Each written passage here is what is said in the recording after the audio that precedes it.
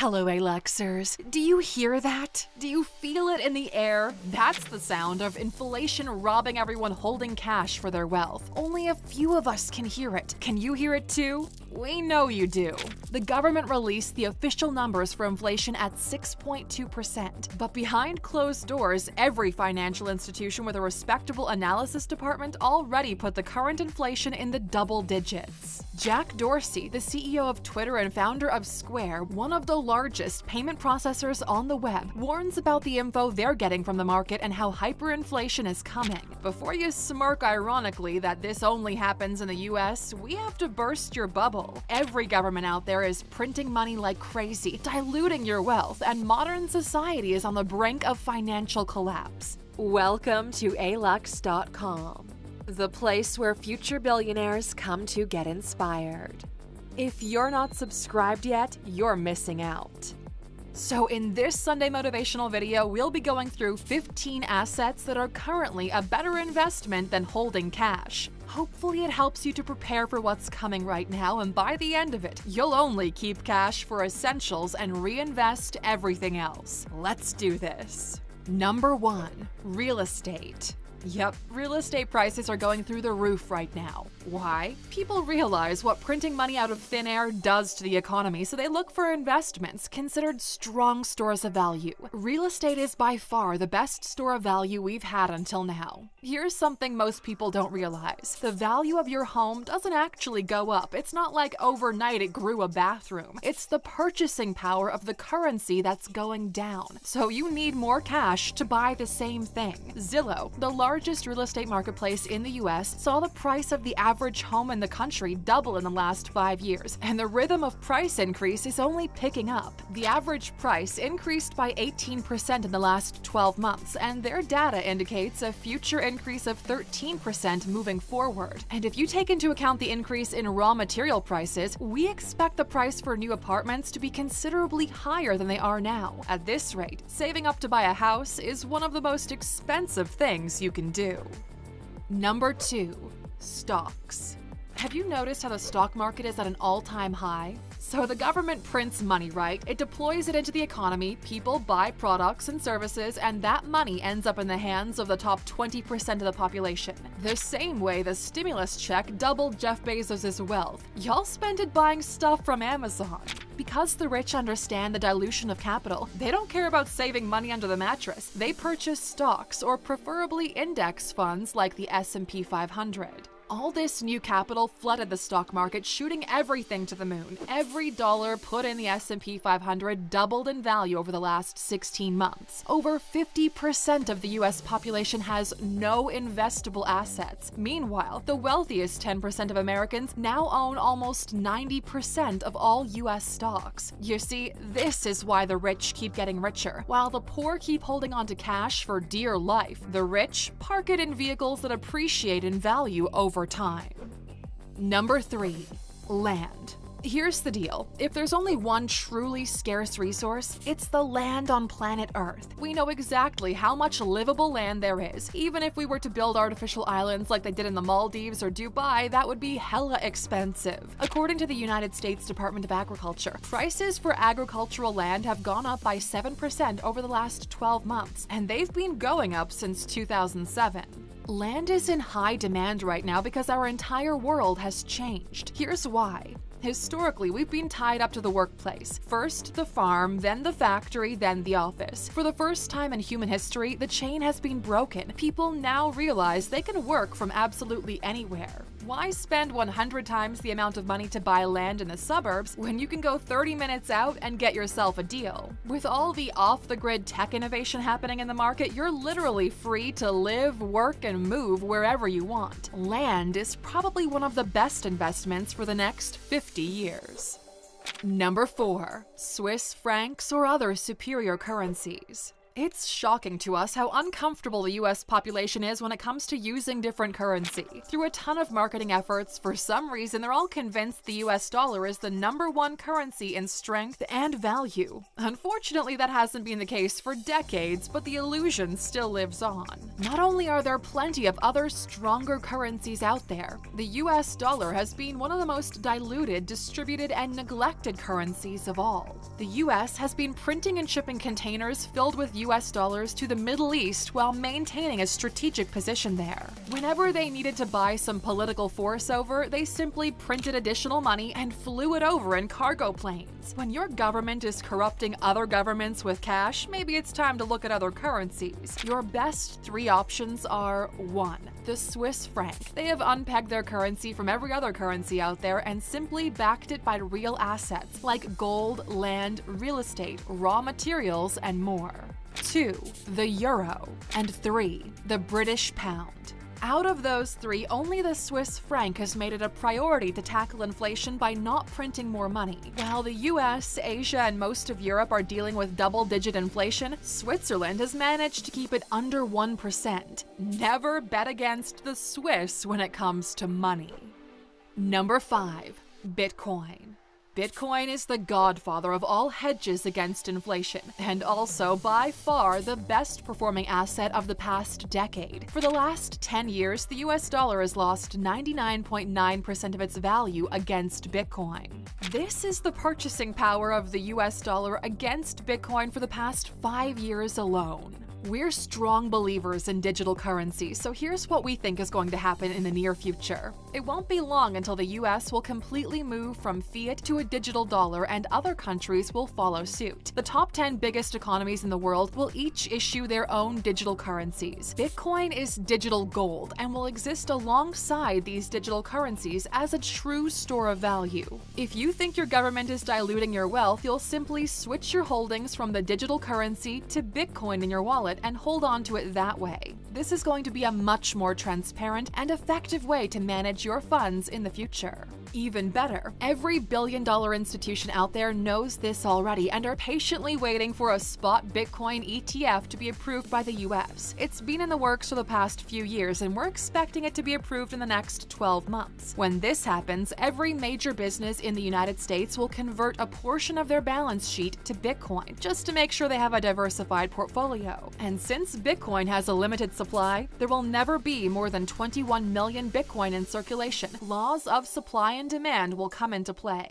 A lot of demand for a limited supply will shoot the prices up. That's why high profile hedge funds like ARK Investments see Bitcoin valued at over $500,000 per coin. Bitcoin is the ultimate store of value and wealth protection. That's why last year, when the price was at $8,000, we released Bitcoin Essentials available for enrollment at alux.com/slash Bitcoin. It's the fastest way to understand, learn, and buy your first Bitcoin. It's the most effective way to get started for someone who's never taken the time to learn about the industry and wants to begin. In just a few hours, you'll be all set up with true Bitcoin on your hardware wallet. You haven't missed the train with Bitcoin, but they're announcing a last call right now. If you haven't taken the leap yet, go to alux.com slash Bitcoin and use the promo code ALUXER at checkout for 25% off.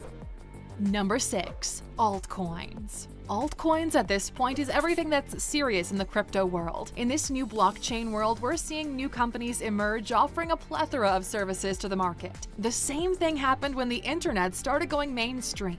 Altcoins are the Googles, the Amazons, the Facebooks, the Yahoo, and more of this new technology. You're getting the opportunity to invest in these companies at an early stage, something you weren't able to do when Google was being founded, for example. A few weeks ago, we released our personal portfolio here on our channel. You can check out the video by clicking in the top right corner.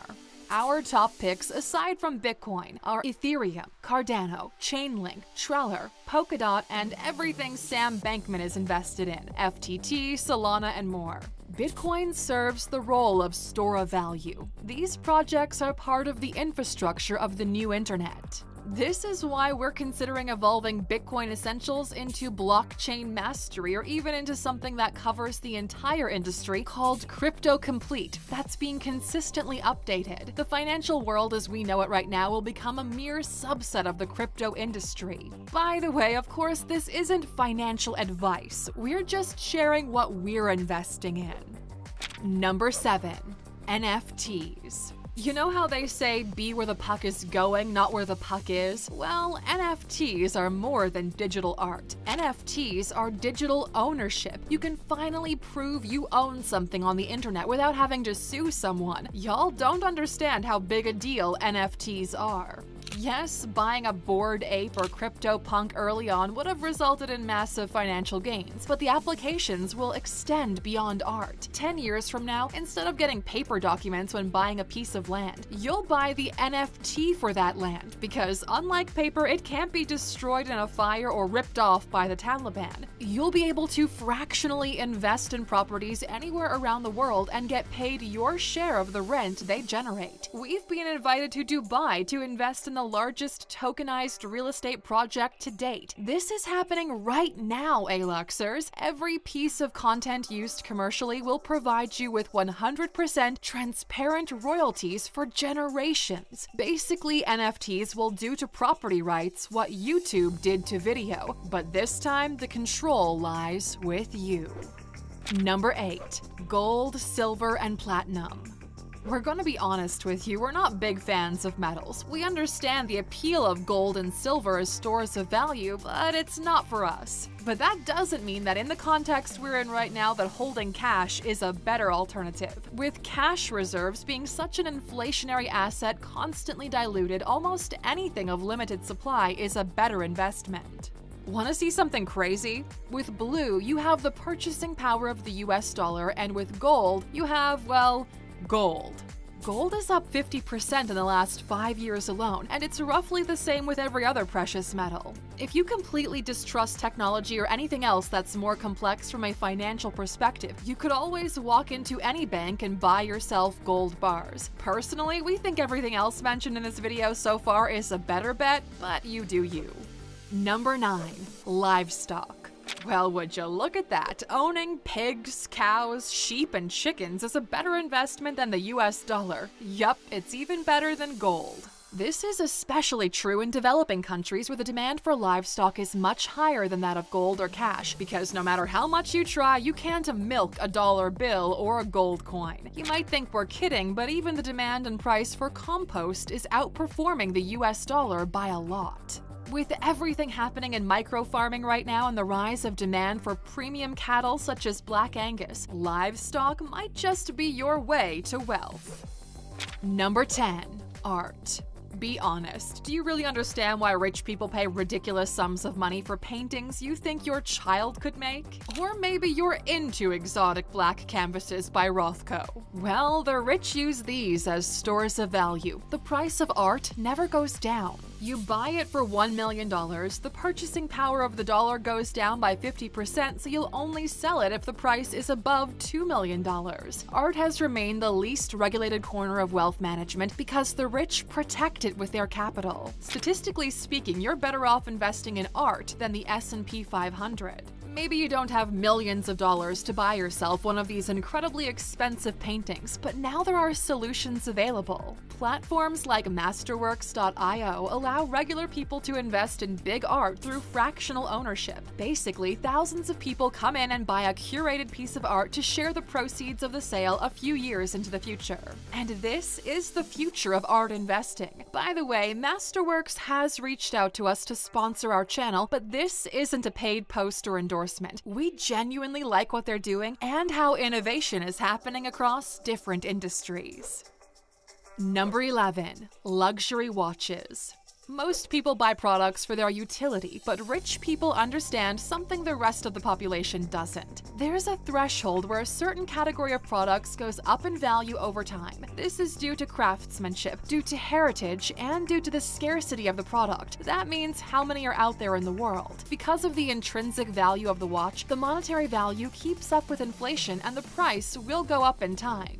Let's take a Rolex, for example, from 1957 to 2014. That's the fastest data we could find. Luxury watches hold a value over time. The top three best luxury watches for investments right now are 1. Rolex Submariner, 2. Patek Philippe Nautilus, or 3. Audemars Piguet Royal Oak. Number 12. Luxury handbags. Your lady was right to ask for a Birkin or a Kelly bag. It's not just because of the flex power, they're genuine long term investments. Yep, luxury handbags go up in value over time, but they're not all created equally. The connoisseur ladies treat their bag collection the same way you treat your stock portfolio. Pick the right ones and hold on for dear life. So here's the holy trinity of luxury bags. The price for the premium Birkin bags has increased 14% year over year for the past 35 years. Take that S&P 500. Some of these bags go for 250,000 to half a million dollars. If you can't afford to spend 10 to 30k for the cheaper ones, the Chanel Classic Flap Bag or the Louis Vuitton Neverfull are more affordable options that still hold value. Number 13. Vintage Cars we love the Tesla Model X and what it represents for the industry, but one thing we hate from an investment perspective is luxury tech. Nobody cares if you have a gold plated iPhone 7, it simply doesn't age well. From wine to special edition cars, these either go up in value or at least depreciate a lot slower. This is why the G Wagon costs so damn much, while your Toyota will be worth 50% less two years from now. The G Wagon, on average, depreciates only 5% per year, while the price of a good edition Ferrari historically goes up 8% year over year. And if you can afford to buy an already vintage one that has some rarity in its supply, that percentage will shoot up. Breaking it all down, it's no wonder the most expensive car in the world is a Ferrari 250 GTO, worth over $50 million. Number 14. Raw Materials we briefly touched on this when it came to real estate, land, and precious metals, but raw materials, especially those used in construction, are incredibly hot right now. On average, you'll pay roughly 18% more for raw materials, while production costs have remained roughly the same. You can take advantage of these changes in the market by investing in material stocks. SLVM, FCX, and AA are just three that are currently the talk of the town. Number 15. Basically anything right now. We began this video by looking for better alternatives to holding cash. Well, honestly, cash is the absolute worst asset to hold on to right now. You're better off trading all your cash for Jordans than keeping it in a savings account. When the population loses trust in its monetary system, it rushes to alternatives. Basically, ABC, anything but cash. This is why baseball cards are coming back. This is why Pokemon cards are worth hundreds of thousands of dollars right now. This is why people would rather buy land in the metaverse than hold on to cash. Anything with a credible fan base can be used as a store of value. We're on the brink of a big change when it comes to money, and unfortunately, the poorest and least educated will be impacted the most. They were told to save their money and keep it hidden for rainy days, while nobody told them that when the rain starts pouring, their money will be worthless. Find a good time to exit your cash positions and buy something of value that will still be valuable years from now. So, what's it gonna be? Knowing what you know now, what store of value will you use to protect your wealth? Let us know in the comments. And as for those of you sticking around until the end, here's your well deserved bonus. We want to take this opportunity of this bonus to talk directly to you, the loyal ALUXer watching our videos until the very end. You're obviously focused on growth and making the most out of everything that's about to happen, so let us ask you the following questions. Let's say someone starts a small business and the business fails. Whose fault is it? Well, it's the fault of the CEO of the company. Let's say the company picks up steam and does really well. Whose fault is it? Well, it's the fault of the CEO of the company once again. Now, let's say you, yeah, you, end up on your deathbed and look back on your life as a failure, filled with regret and never building the life you really wanted to live. Whose fault is it? It's yours, isn't it? But what if it all works out incredibly well and you live this extraordinary life filled with everything you ever wanted? Whose fault is it then? Of course, yours. You see, my dear Aluxer, the reason why you don't yet have the life you want, the success you want, is because you fail to step up and act like the CEO of your life, to make the tough decisions needed to push your life toward that big goal you've set for yourself. You are the CEO of Your Life Inc. So act like it. You took the time to watch a video about inflation on a freaking Sunday. Most of everything we said here resonated with you, and you understand what's about to happen on an international level. What are you going to do as the CEO of your life here? Are you going to be a spectator, or are you going to get ready? If you're getting ready to put all of this into action, write the word ready in the comments. Let's see how many of you are tired of being spectators and ready to step up as CEOs.